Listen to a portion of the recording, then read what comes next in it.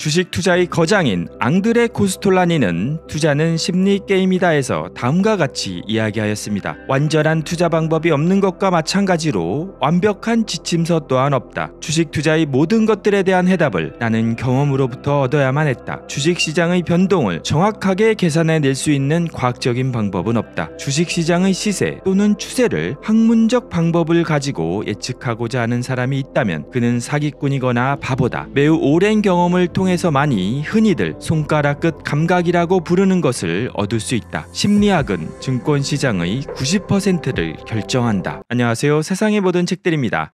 이번 시간에 리뷰할 책은 알렉스 강님이 지은 투자의 감입니다. 저자는 주식시장에서 성공하려면 앙드레 코스톨라니가 말하는 손가락 끝 감각, 즉 투자의 감이 중요하다고 합니다. 하지만 이 감이란 것은 우리가 즉흥적으로 떠올리는 느낌이 아닙니다. 수많은 공부와 경험을 통해서 우리에게 축적된 방대한 양의 정보가 무의식적으로 통합되어서 나타나는 현상입니다. 그래서 자신이 가지게 된 투자의 감이 자신의 수 수많은 노력과 경험에 의한 것이면 즉 설명할 수 있는 투자의 감이면 믿어도 된다고 합니다. 저자는 주식 투자에서 돈을 벌기 위해 그러한 감을 어떻게 키울 수 있는지 그리고 시장의 어떠한 국면에서 그러한 감을 투자에 적용해야 되는지에 대해서 아주 자세히 설명하고 있습니다. 같이 투자에서 차트 분석까지 저자가 20년 넘게 투자해오면서 배운 모든 노하우를 가르쳐 주고 있어서 아주 도움이 많이 됐습니다. 이번 시간에는 1. 돈 버는 투자 방법 2. 투자 대가들이 이론대로 했는데 왜 수익이 안 날까? 3. 주식 투자는 예술과 과학. 4. 투자의 감을 기르는 법. 5.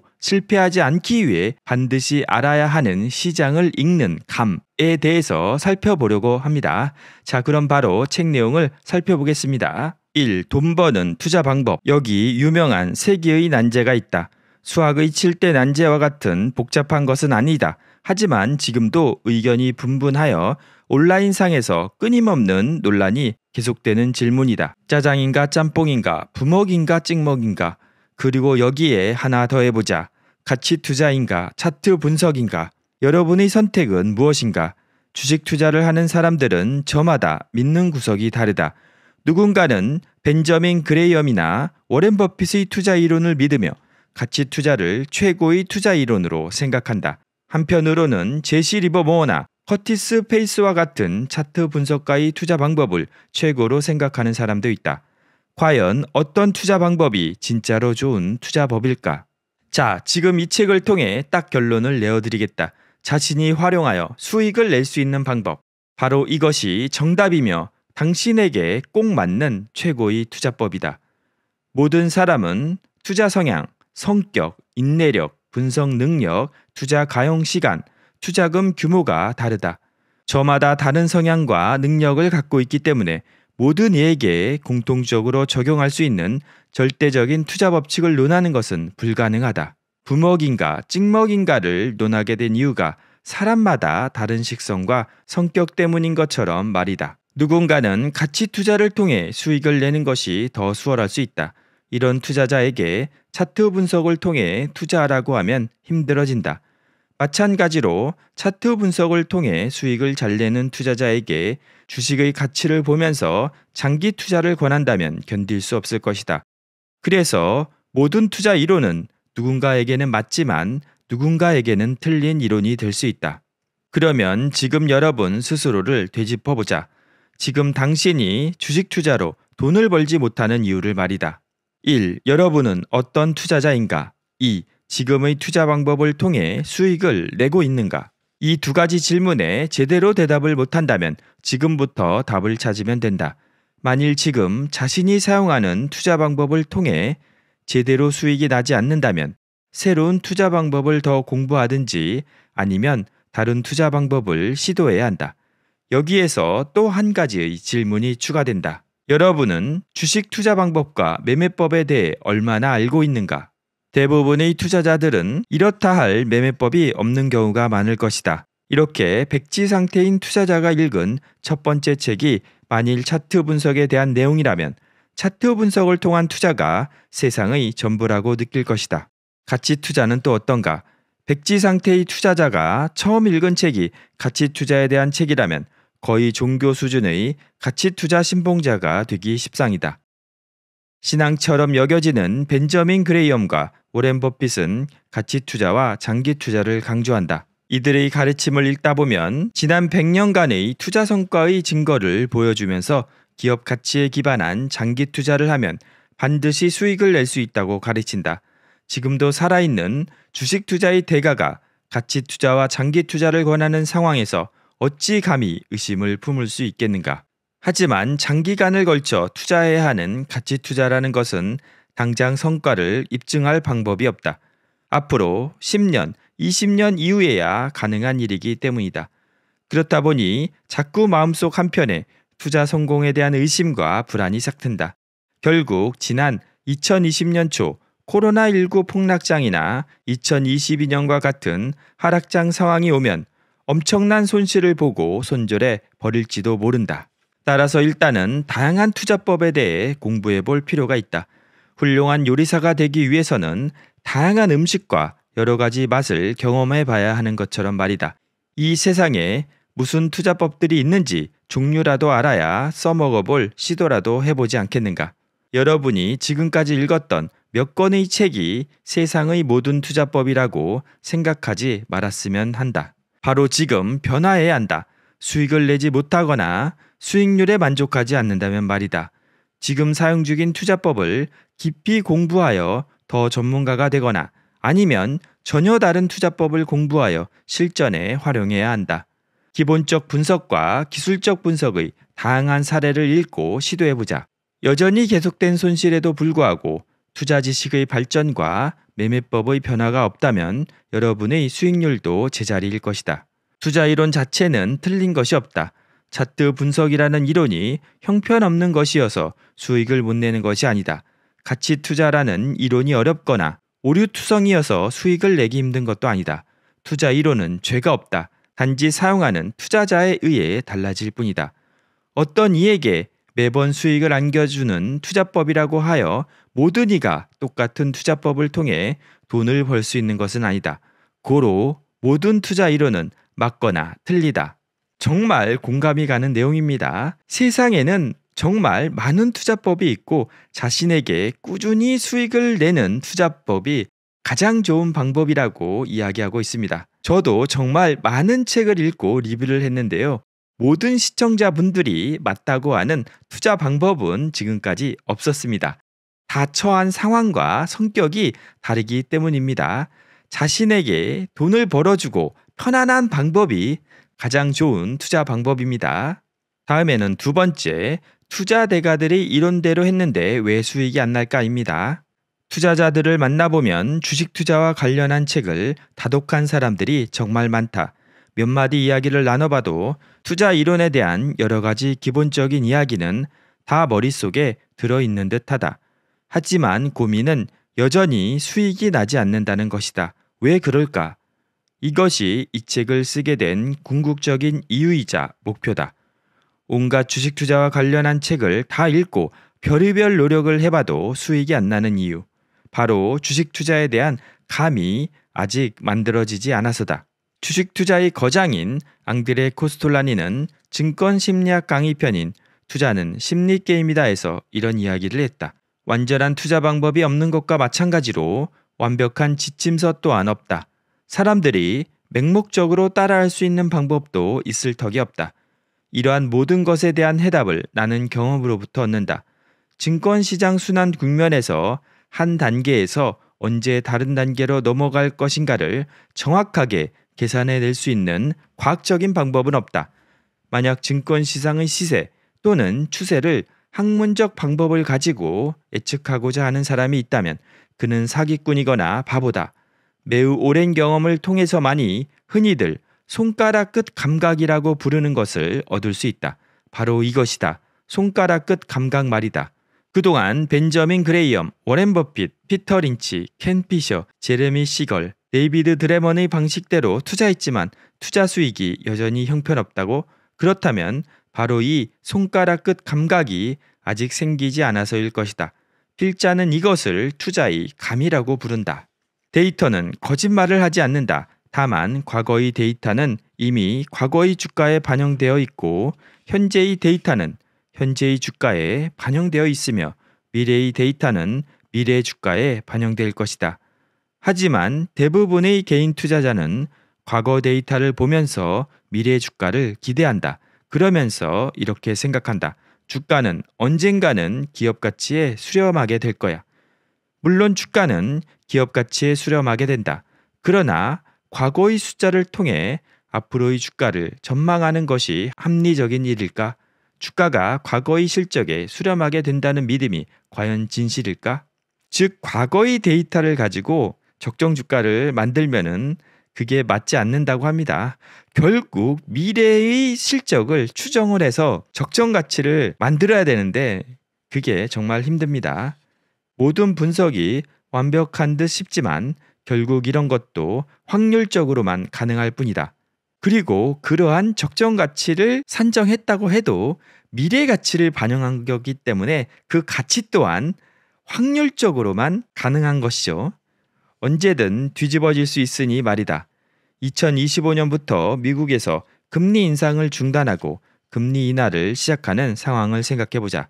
그리고 2025년에는 반도체 경기가 바닥을 지나 호황 국면에 들어설 것이라는 분석 발표가 곳곳에서 나오고 있다면 여러분은 어떻게 투자할 것인가? 2025년부터 금리가 낮아지고 반도체 경기 역시 호황이라고 했으니 2024년 말에는 주식을 매수해야 할까? 아니면 2024년 말에 매수하려는 사람들이 몰릴 것이고 이로 인해 주가가 급등할 것이 예상되므로 그보다 이른 2024년 중반부터 주식을 매수해야 할까? 이것도 아니라면 2024년 중반부터 매수하려는 사람들보다 앞서서 2024년 초반부터 조금씩 분할 매수를 하는 것이 정답일까? 참 애매한 문제다. 그래서 투자자들 간의 눈치 싸움이 시작된다. 동시에 공매도 세력과 현물 매집 세력 간의 전투가 시작되지만 결과는 그 누구도 예측할 수 없다. 뉴턴은 주식 투자에서 재산의 대부분을 날린 후 이런 말을 했다. 천체의 움직임은 계산할 수 있어도 인간의 광기는 도저히 계산할 수 없다. 수많은 투자자의 심리가 어우러지면서 그야말로 예측 불가능한 불확정성의 원리가 반영된 곳이 바로 증권시장이다. 그렇다고 하여 모든 것을 자포자기 할 수만은 없다. 확률적으로 성공 가능성을 키울 수 있기 때문이다. 앙드레 코스톨라니는 증권 시장의 시세를 결정짓는 두 가지 요소는 돈과 심리라고 했다. 시세는 돈 플러스 심리. 여기서 돈이란 통화량이나 금리 등을 이야기한다. quant 투자는 오직 돈과 관련된 데이터에만 집중한다. 그러나 시세에는 투자들의 심리도 무시하지 못할 요소다. 하나의 뉴스를 보고도 이를 악재로 또는 호재로 받아들인다. 주식시장에서 다양한 정보와 변수들이 존재하는 것처럼 다양한 사람들의 심리 또한 존재한다. 예를 들어 미국의 경제 지표들이 나쁘게 나왔다면 일반적으로는 증시의 악재일 것이다. 하지만 연준이 금리를 가파르게 인상시키는 시기에 경제 지표의 하락은 오히려 호재로 작용하기도 했다. 금리 인상 속도를 늦출 수도 있다는 기대 때문이었다. 그런데 몇 개월 뒤 경제 지표가 또다시 나쁘게 나오자 이번에는 증시가 하락했다. 경제 둔화를 걱정하는 투자자가 많아졌기 때문이다. 똑같은 지표 데이터를 두고도 이를 받아들이는 투자자의 심리에 따라 증시의 방향은 얼마든지 바뀔 수 있는 것이다. 모든 것이 불확실하다. 그저 확률로서만 존재할 뿐이다. 우리는 이런 증권 시장에서 투자 성공 확률을 높일 수 있는 방법을 찾고자 노력하고 있는 것이고 말이다. 그러면 어떻게 그 확률을 높일 수 있을까? 이에 대한 해답은 역사상 수많은 투자자의 투자법들 가운데 나와 잘 맞는 무기를 선택하고 승률을 높일 수 있는 감을 키우는 훈련뿐이다. 투자 이론을 공부했다고는 하지만 아직 수익이 마음에 들지 않는가? 그렇다면 지금부터는 투자의 감을 공부할 차례다. 우리가 투자를 하다 보면 투자 대가들이 방법을 배우고 그거를 그대로 실천했다고 해도 꼭 수익이 나지만은 않습니다. 정말 여기도 공감되는 이야기입니다. 그것은 시장의 시세는 대중들이 심리의 영향을 받는데 그 심리가 상황에 따라서 다 다르게 반응을 하기 때문입니다.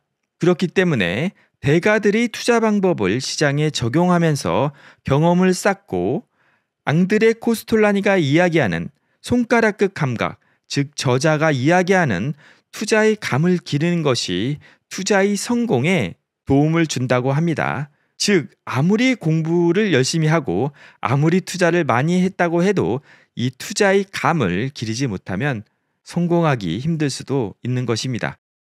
그리고 세 번째, 주식 투자는 예술과 과학, 주식 투자는 술인가 과학인가 이 질문에 대해 퀀트 투자나 가치 투자를 하는 사람들은 주식 투자 역시 과학적으로 접근해야 한다고 이야기할 것 같다. 숫자와 데이터를 통해 기업의 가치를 분석하고 저평가된 주가의 종목을 찾아서 투자한다는 것이 그들이 과학적 기본 투자 원리다. 그러나 모든 투자자가 성공하는 것은 아니다. 이에 대해 모건 하우절은 돈의 심리학에서 분석의 실패가 아니라 상상력의 실패다라는 말을 했다. 한 번도 일어난 적이 없는 일은 반드시 일어나게 마련이다 라면서 말이다. 대공황, 제2차 세계대전, 닷컴 버블, 9.11 테러, 2008년 금융위기, 코로나19 등 무수한 사건들이 금융시장을 뒤흔들었다. 이런 사건들이 일어나는 이유는 무엇일까? 대부분의 사람들은 앞으로 일어날 일을 과거에 일어났던 일들을 바탕으로 대비한다. 그리고 과거를 되돌아보며 과거의 변수들을 통해 수많은 공식과 원칙을 만들어낸다. 하지만 과거의 변수가 미래의 변수와 동일할 수는 없다. 미래의 변수는 항상 과거의 변수를 뛰어넘기 때문이다. 이 때문에 모고나우절은 금융위기에 대해 공부하면서 투자의 실패 원인은 금융이 아니라 심리학적 측면에서 바라볼 때 이해하기 쉽다는 사실을 깨달았다. 사람들이 빚에 허덕이는 이유를 이자율의 변화에서 찾는 것이 아니라 탐욕과 불안, 낙천주의의 역사를 공부해야 하는 것처럼 말이다. 한편 볼테르는 역사가 반복되는 것이 아니다. 사람이 반복하는 것이다. 라는 말을 남겼다. 이 말은 주식 투자에 대한 우리 행동에도 그대로 적용된다. 주식 시장 역시 수많은 투자자에 의해 움직인다. 다른 사람들의 행동은 때로는 비슷하지만 또 한편으로는 전혀 엉뚱한 방향으로 전개되기도 한다. 그렇기에 100% 완벽한 예측과 전망은 불가능하다. 주식 시장은 투자자들의 수요와 공급에 의해 가격이 결정된다. 만일 앞으로 주가가 더 오를 것으로 생각하는 사람들이 많아지면 현재가보다 다소 비싼 가격일지라도 주식을 매수하려고 할 것이다. 그러면 주가는 오른다. 하지만 주가가 떨어질 거로 생각하는 사람이 더 많아지면 조금 손해를 보더라도 가격을 낮춰 얼른 매도하고 싶어 할 것이다. 그러면 주가는 하락한다. 앙드레 코스톨라니는 이런 군중들의 심리를 계산하여 하나의 법칙으로 정립할 수 있지 않을까를 연구했다. 그러나 결국 다음과 같은 말을 남기며 연구를 마쳤다. 개인 또는 대중의 심리적 동기, 특정 상황에서의 그들의 반응은 사실 예측할 수 없다. 그리고 개개인이 내리는 결정들이 모였을 때 그 합계의 강도, 즉 대중의 심리적 반응의 강도와 시점들 역시 보통 사람들은 알 수 없다. 그러면 주식 투자는 어떻게 해야 하는가?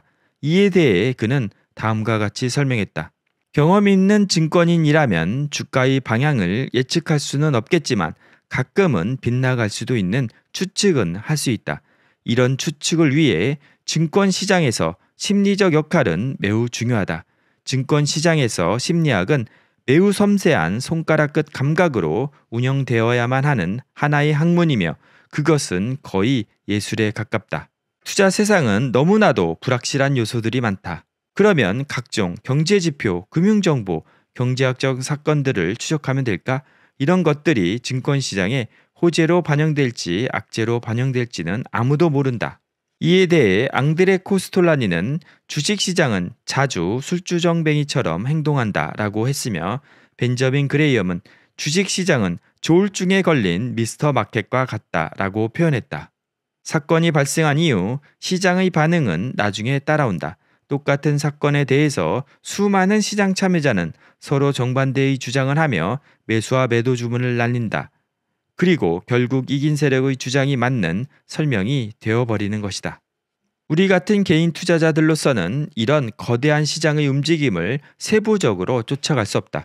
그러나 투자의 감을 키운다면 그리고 조금 더 날카롭게 갈고 닦는다면 미약하게나마 그들이 큰 흐름을 이해하게 될 것이다. 당장 내일의 정확한 날씨와 기온을 알 수 없지만 8월에는 더울 것이고 1월에는 추울 것이라는 건 누구라도 알 수 있듯이 말이다. 사실 이 정도만 이해해도 개인 투자자로서 잃지 않는 투자가 가능하다. 그런데 여기에서 조금 더 투자의 감을 갈고 닦아 다음 계절의 날씨나 다음 주의 날씨까지도 전망할 수 있는 감을 가지게 된다면 어떨까? 어느덧 여러분도 투자 고수의 반열에 올라 있음을 느끼게 될 것이다. 앙드레 코스톨라니는 투자는 예술에 가깝다고 합니다. 저는 주식 투자를 하다 보면 주식 투자는 돌을 닦는 인격 수양에 가깝다는 생각을 자주 합니다. 아주 많은 투자 방법을 알고 있어도 심리가 흔들리면 어떤 투자 이론도 무용지물이 되기 때문입니다. 4. 투자의 감을 기르는 법. 좋은 투자의 감을 만들기 위해서는 과거의 기억이 풍부해야 합니다. 미래에 대한 예측은 모두 과거에 대한 기억들을 바탕으로 추론되기 때문입니다. 우리 뇌는 훈련하고 사용되는 대로 얼마든지 발달할 수 있기 때문에 많은 공부와 훈련을 통해서 더 나은 감을 가질 수 있습니다. 나이는 중요하지 않다. 오히려 나이가 많을수록 기억에 축적된 더 많은 자료를 통해 창의적인 미래 예측이 가능해진다. 이쯤에서 하나의 의문이 생긴다. 증권 시장의 앞날은 그 누구도 예측할 수 없다. 주가의 방향 역시 예측하기 어렵다. 그런데 어떻게 뇌를 훈련하여 미래를 예측한다는 것인가? 주가 예측은 당연히 불가능하다. 그러나 시장에 대한 투자자들의 군중 심리와 반응을 예측하는 것은 일정 부분 가능하다. 그리고 가장 쉬운 것은 실제 벌어진 상황을 확인한 이후 시장 상황에 재빨리 대응하는 것 역시 가능하다. 증권 시장의 움직임은 조울증에 걸린 미스터 마켓처럼 과장되어 움직인다. 군중들의 심리가 일순간에 편향되어 휩쓸리기 때문이다. 따라서 이러한 심리의 움직임을 사전에 예측하든지 아니면 심리의 과장으로 인해 과잉 반응을 보인 주가가 다시 제자리를 찾아가리라는 것을 예측할 수 있다. 이런 감은 뇌를 훈련함으로써 개발할 수 있다. 뇌과학자 모기 게니치로는 창조성의 비밀, 번뜩이는 생각들은 도대체 어디서 오는 걸까를 통해 생각의 비밀을 설명했다. 우리가 아하 하고 무릎을 칠 때 그 대상은 무엇일까? 바로 오랫동안 알고 싶었지만 답을 몰랐던 일들, 머릿속에 불확실하게 남아있던 질문이다. 이때 중요한 것은 충분한 합승량이 있어야 번뜩임이 일어난다는 것이다. 창의성은 머리 좋은 사람이 아무런 정보도 없이 어느 날 갑자기 뚝딱하고 만들어낼 수 있는 게 아니다. 창의성도 정보의 양이 먼저 충분해야 한다. 그래서 어느 분야든 창의적인 결과물을 내려면 10년 이상 학습에 몰입하여 집대성해야 한다. 창의성의 전제 조건은 공부의 양이다. 일단 정보량이 임계치를 넘어서야 한다. 임계치를 넘는 정보는 질로 바뀐다. 정보와 정보를 변형시키고 새로운 정보와 정보를 연결시키는 정보의 편집이 바로 창의성을 키우는 과정이다. 창의성은 어디서 갑자기 툭 떨어져 나오는 것이 아니다. 불확실한 주식 시장에서 승리하기 위해서는 투자자는 주식 투자의 천재가 되어야 한다. 그리고 이를 위해서는 투자자의 머릿속에 투자에 대한 방대한 데이터베이스를 마련해야 한다. 즉, 투자 지식을 공부해야 한다는 뜻이다. 투자 지식을 공부하다 보면 어느 순간 증시의 불확실 상황에 대한 예측과 전망이 가능해지는 시기가 찾아올 것이다. 바로 그것이 주식 투자의 감이다. 즉, 투자의 감을 기르기 위해서는 방대한 지식의 습득이 필요하다고 합니다. 수많은 지식을 쌓고 다양한 경험을 많이 하면 무의식적으로 방대하게 쌓인 데이터베이스에서 지식과 경험이 결합하고 과공되어서 투자의 감이 길러지게 된다는 것입니다. 이것도 정말 중요한 것 같습니다. 그래서 우리들이 당장은 효과가 없더라도 주식 투자에 관련된 책을 많이 읽고 주식 투자의 경험을 쌓는 것입니다. 자, 드디어 마지막. 실패하지 않기 위해 반드시 알아야 할 시장을 읽는 감에 대해서 살펴보겠습니다. 지금까지 구독을 안 하고 시청하고 계신 분들은 구독과 좋아요 부탁드리겠습니다. 저에게 너무나 많은 도움이 됩니다. 이 부분에서는 그 유명한 앙드레 코스톨라니 달걀 이론에 대해서 자세히 설명하고 계십니다. 이 책에서 저자는 개인 투자자가 성공하기 위해서는 주식 시장이 상승하는 도중에 주식 투자를 하는 게 상당히 유리하다고 합니다. 그렇기 때문에 시장의 국면을 이해하는 게 중요하거든요. 그래서 여러분만의 시장을 읽는 감이 필요하다고 하고요. 주식 시장은 어떤 흐름으로 흘러가는 것일까? 앙드레 코스톨라니가 설명한 코스톨라니의 달걀을 이해하면 도움이 된다. 특히 2022년 이후 금리 인상과 경기 침체의 우려로 흔들리는 증시 상황에 대해 아주 잘 설명하고 있다. 코스톨라니는 투자자를 소심파와 부하 내동파 두 부류로 나눴다. 소심파는 가치 투자자로만 해석할 것은 아니고 오렌 버핏과 같이 큰 돈을 가진 투자 전문가로 이해하는 것이 좋다. 반면 부하 내동파는 시장 상황에 따라 흔들리며 남의 말만 쫓아다니는 대부분의 초보 투자자다. 물이 위에서 아래로 흐르듯 경제의 흐름에 따라 돈은 부하 내동파에서 소심파에게 점점 흘러간다. 주식시장의 흐름에 대한 그림을 보자. 즉 이게 그 유명한 코스톨라니 달걀인데요. 처음에 하락의 과장 국면, 두 번째 상승의 조정 국면, 세 번째 상승 동행 국면, 네 번째 상승 과장 국면, 다섯 번째 하락 조정 국면, 여섯 번째 하락 동행 국면입니다. 오른쪽은 경기 침체로 가는 것이고 왼쪽은 경기 상승으로 가는 부분입니다. 1. 하락 과장 국면 매수 타이밍 금리가 높아지면 경기가 침체된다. 이 때문에 주가는 하락을 지속하다가 결국에는 기업 본래의 가치보다 낮은 수준까지 하락하게 된다. 더 큰 하락장이 두려운 초보 투자자는 주식을 매도한다. 그리고 소심파는 기업 가치보다 싸게 거래되는 주식을 매집한다. 자연히 시중에 거래되는 많은 물량의 주식은 소심파의 손으로 들어가게 된다. 거래될 수 있는 대부분의 주식이 소심파의 손에 들어가게 되면 이때부터 경제에 대한 나쁜 뉴스가 나와도 주가는 더 이상 크게 빠지지 않는다. 소심파는 경제의 흐름을 알고 있고 반등할 때까지 기다릴 수 있는 재력이 있으니 주식을 팔지 않는다. 아무리 나쁜 뉴스가 쏟아져도 소심파는 아랑곳하지 않는다. 이때부터 증시는 바닥권을 다지면서 횡보를 하기 시작한다. 2. 상승 조정 국면 매수 타이밍 경제 상황은 사이클이 있다. 하락이 있으면 반드시 반등이 나오기 마련이다. 중앙은행은 침체된 경기를 다시 살리기 위해 금리 인상을 멈춘다. 그리고 금리를 천천히 내려야 하는 순간이 찾아온다.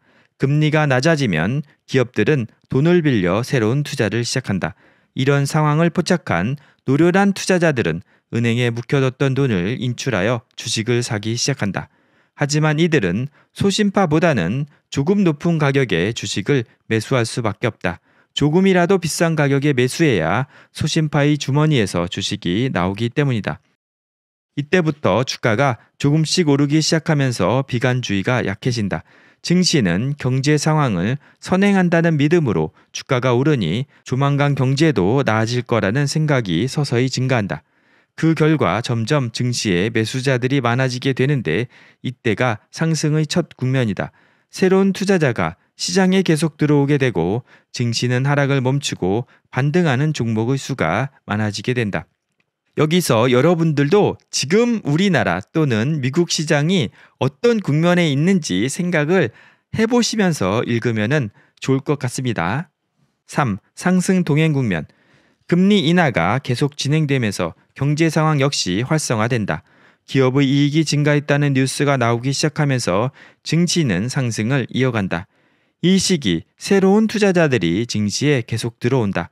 이미 저점은 지나면서 주식을 가장 싸게 매수할 기회는 지났지만 그래도 상승장에 맞춰 매수를 이어간다. 상승 과장 국면, 매도 타이밍. 모든 뉴스에서 증시 화랑을 이야기한다. 엄청난 수의 투자자와 더불어 노름꾼, 초보 투자자들이 주식을 매수한다. 기업의 이익은 여전히 잘 나오고 있기 때문에 증시에는 끝없는 낙관주의만 가득 찬다. 주가는 고평가 수준을 넘어선 지 오래다. 그래도 계속하여 더 높은 가격에 매수자가 나타난다. 심지어는 보험, 적금을 깨고 대출까지 받아 매수에 동참하면서 시장에 거품이 끼고 과열되기 시작한다. 낮아진 금리에 더 많은 사람이 돈을 빌려서까지 주식을 매수한다. 이 시기 소심파는 주식을 팔기 시작한다. 증시는 고점이고 거품이 끼었다는 것을 알기 때문이다.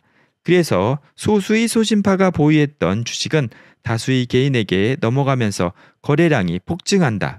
다수의 개인 투자자는 증가하는 거래량을 보면서 증시 화랑을 더욱 확신하며 계속 매수를 이어간다. 증시 고점이라는 소리를 듣고 매도했다가도 계속되는 주가 상승을 보면서 이전보다 더 큰 빚을 끌어와 다시 매수에 동참한다. 5. 하락 조정 국면 매도 타이밍 경기에 거품이 끼기 시작하면 중앙은행은 인플레이션을 우려하여 금리를 인상한다. 그 결과 시중에 유동자금이 줄어들기 시작한다. 더 이상 새로운 자금과 투자자가 증시에 들어오지 않는 상황이 되었다. 그러면 여전히 기업의 실적이 좋다는 뉴스가 나오더라도 주식은 예전처럼 오르지 못한다. 이것을 포착한 노련한 투자자들은 주식을 팔기 시작한다. 그러면 주가는 정점을 찍고 하락을 시작한다. 6. 하랑 동행 국면, 돈줄이 마르면서 기업은 대출을 통한 사업 확장이 제한된다. 사람들도 돈을 빌려서 소비하기 힘들어진다. 자연히 기업의 이익은 감소하게 되고 이런 내용이 뉴스에 슬슬 등장한다. 기업의 약재 소식과 더불어 계속 하락하는 증시에 두려운 나머지 더 낮은 가격에서라도 매도하고 싶어 하는 투자자들이 계속 늘어난다. 결국 증시 하락은 계속 가속화된다. 1. 다시 하락 과장 국면으로 매수 타이밍. 증시에 온통 악재만 가득하다. 시중에 유동 자금은 거의 없다. 금리가 최고조에 이르면서 대출이 있는 투자자들은 대출 이자에 허덕인다. 한 푼이라도 현금이 중요한 부하내동파는 보유하고 있던 모든 주식을 가장 낮은 가격에 던져버린다. 소심파들은 이런 주식을 다시 매집하면서 이전과 똑같은 사이클로 돈을 번다. 주식 시장은 이와 비슷한 과정을 반복한다.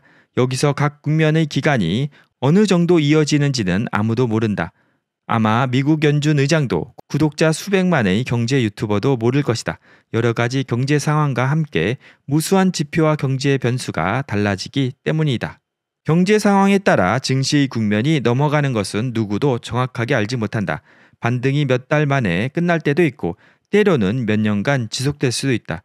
이런 경제의 추세를 정확히 알 수 있다고 주장하는 사람들은 일단 의심의 눈초리로 살펴볼 필요가 있다. 증시의 흐름을 읽기 위해서는 투자의 감을 키울 수밖에 없다. 이러한 감을 키우는 데 도움이 되는 자료를 적극 활용해 보자. 그래서 이 뒤에는 네이버 증권의 리서치 자료를 이용하는 방법이 나오거든요. 이 부분도 상당히 유용합니다. 관심 있으신 분들은 이 부분도 꼭 읽어보시기를 추천합니다.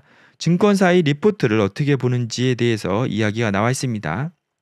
이 앙드레 코스톨라니 달걀에서 나오는 주식 시장의 국면만 잘 알 수 있어도 정말 주식 투자를 잘 할 수 있을 것 같다고 저는 생각합니다. 정확하지는 않더라도 주식 시장이 어느 단계에 있다는 이렇게 감만 느껴도 정말 중요하다는 이야기를 많이 하시거든요.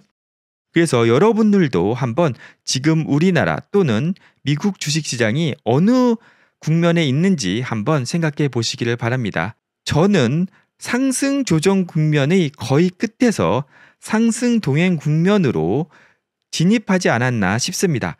아직 금리 인하도 하지 않았고 경기가 좋다는 이야기도 많이 안 들리기 때문입니다.